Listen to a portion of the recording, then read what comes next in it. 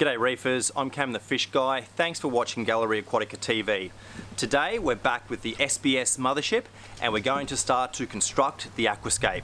Today we're going to show you the proper technique for using two forms of uh, adhesives to create this scape. We're going to use Stonefix and epoxy. So let's get into it.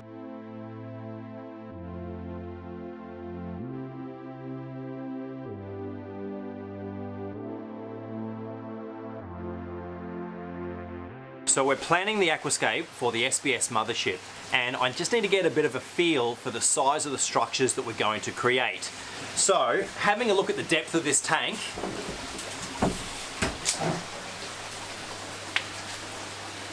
we have 34 inches to the top panel. So that's 88 centimeters sort of thing. So we've got a really high tank that we have to build tall structures. So I want the structures to be at least two feet, which is to here. So that means we need to have big boulders that will stand up and be bridged across with other big structures. I want to have a number of rainbows so that we have negative space for the fish to swim through and we've got a heap of surface area for the corals. So we need tall, big pieces of rock.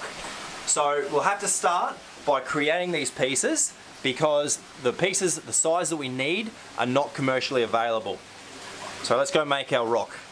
So we're going to start with stone fix and the purpose of the stone fix is to create a really strong hold between the two bits of base rock and today we're really trying to create two, uh, some larger pieces that will form the foundation of our structure. So I have a mixing bowl. Just going to start with a couple of teaspoons, a bit of water,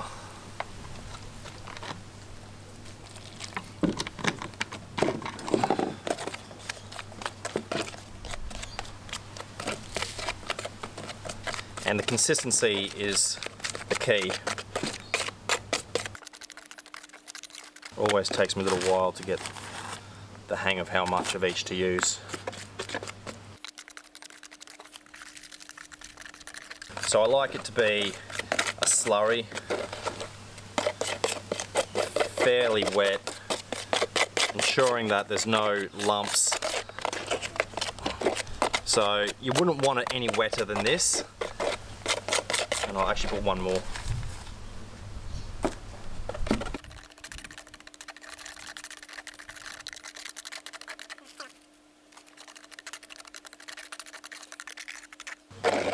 I like it to be able to sort of hold its own weight a little bit. That's, uh, okay, that's probably good enough. So you need to work quickly. So I can see the seams in here, so I'm going to try and get it so that's going to sit like that.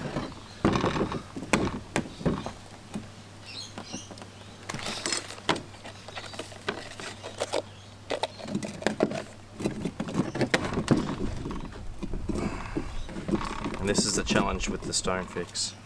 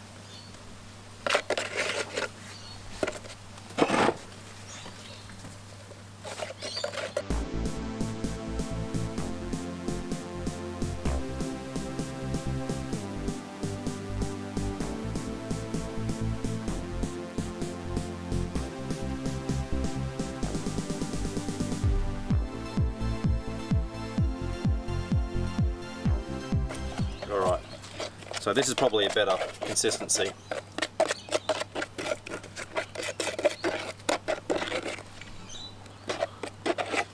And this is a better example of how I would use it because I can see, there's a bit of paper there, a very obvious point between the two rocks and I try and get as much into that seam as possible. Alright, that's better.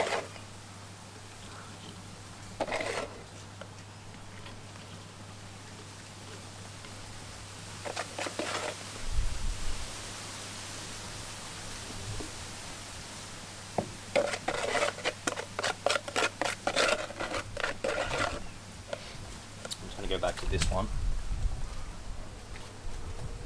I wasn't very happy with the amount of contact between, uh, again, between the two rocks. So I try and slowly increase the amount of uh, stone fix that's joining the two. Just let it dribble down. Yep, okay, that's better. Now I'm not too worried about how much stone fix I use because of course, well first of all it's cheap stuff, but eh, of course it's going to have coralline growing over it and after being in the tank for a number of uh, weeks or months, you won't even be able to tell that the stone fix there.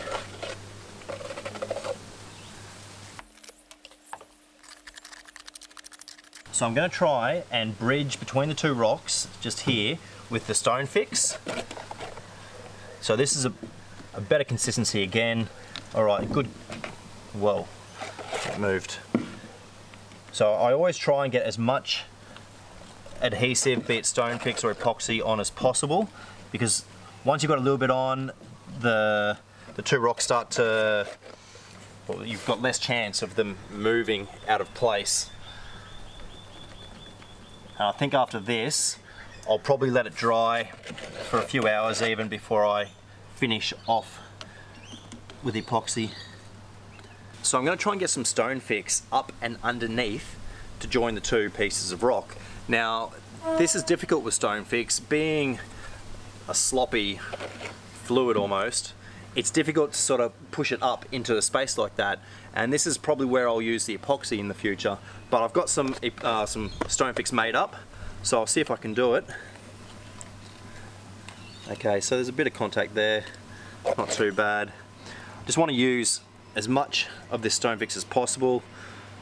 Because this is a base section of our aquascape, it's very important that these rocks are bound very tightly and securely.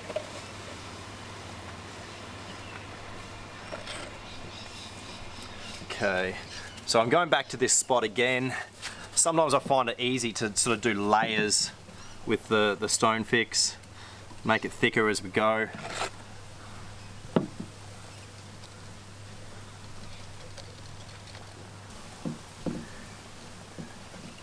Alright, that's good.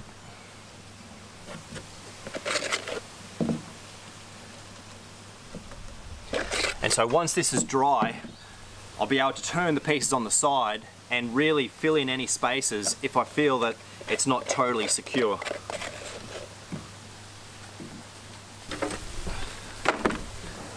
So I want to join these two pieces together in a way that creates an overhang.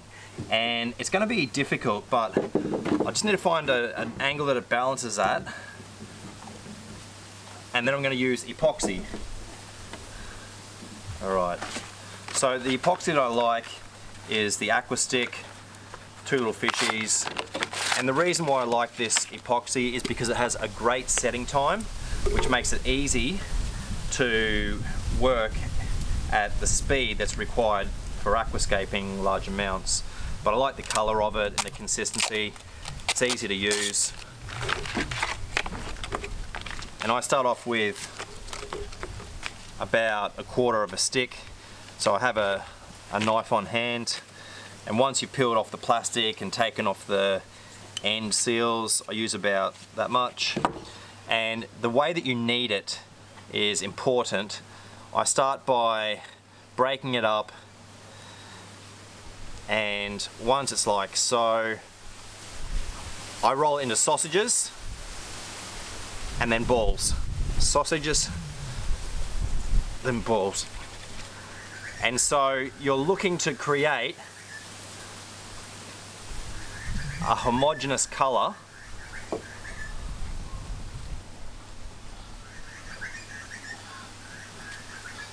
like so.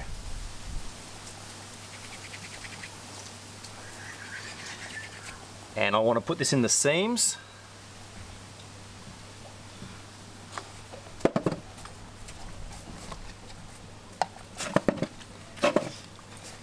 I always have some water on hand so that I can have wet fingers when I'm kneading the epoxy into the rock work.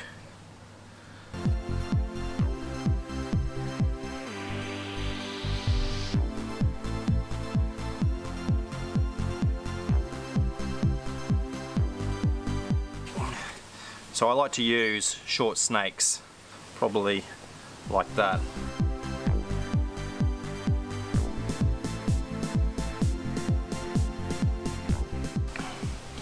Now, one of the reasons why I like working with epoxy is because it's got quite a, a fast set time. So it means that I can put some epoxy on the pieces and then I know it's not going to be too long before I can move the rock and put some in from the other angle. Alright, so I'll go again.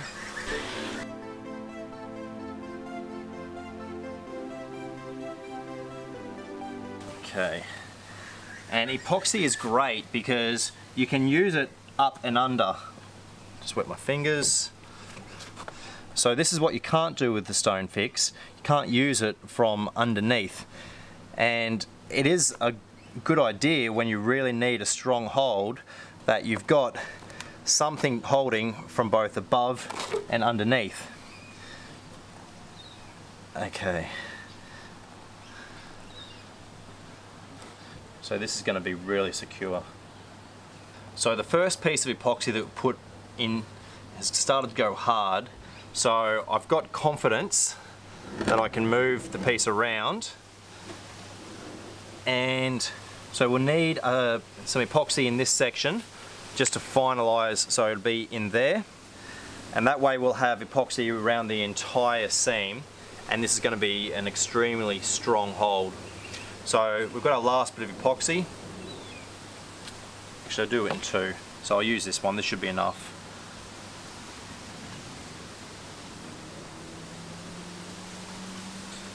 And of course, one of the good things about epoxy is that you can use it underwater.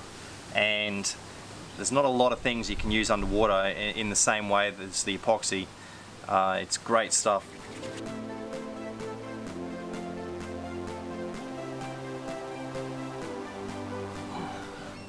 Wet my fingers.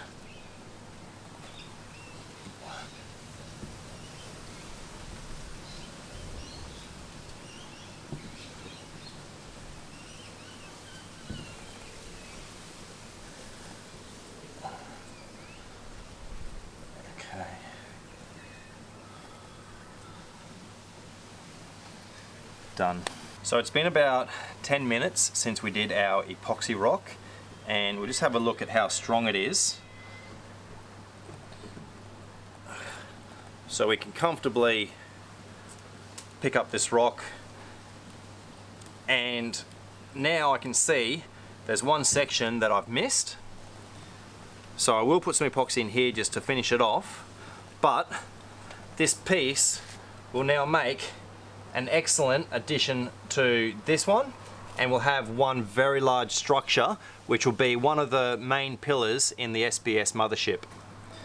So I'll just put this last bit of epoxy on and then we'll have a look at the stone fix pieces.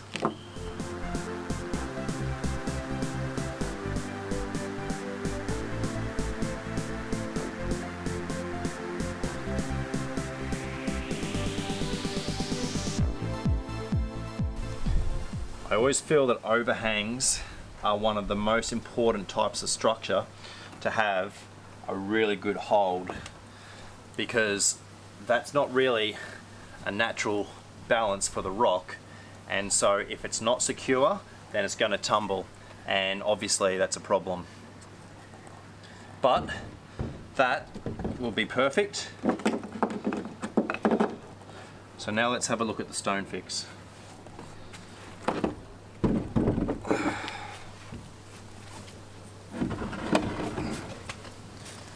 So It's been 20 or 30 minutes since we applied this stone fix and you can see that it's starting to change color, it's lightening. It's not fully dried and you can tell because it will crumble away. There we go. But it's secure enough that we can move the piece and we can look for sections that we might want to add more stone fix to.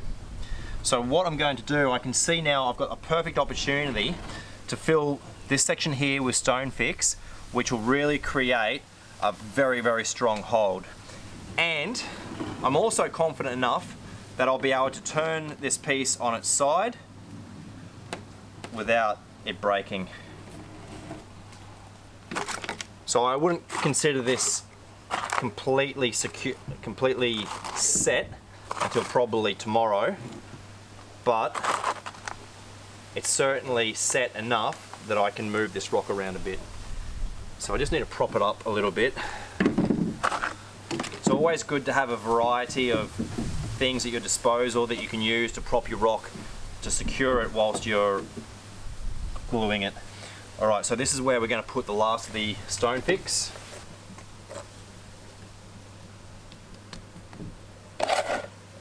So I'm just going to fill this hole completely with the stone fix and that way it'll be solid all the way through. I'll make sure I give this heaps of drying time. I won't even touch this again until probably two days from now. And it will be completely 100% totally secure. Okay. There's a lot of stone fix on that. It's good to be able to use stone fix in this way, just being very generous with it. It's you know not an expensive product, so it's great. So that's it. I'll leave this now to set and uh, we'll put it in the SPS mothership. So this is the start of our aquascape for the SPS mothership and it's coming along quite nicely. We have a lot more to do. Most of the aquascaping will be done inside the tank itself, but it's good to be able to get a start with some of the bigger pieces out of the tank and also to be able to demonstrate the proper use of these two products. So thanks so much for watching Gallery Aquatica TV and stay tuned for future episodes of SPS Mothership.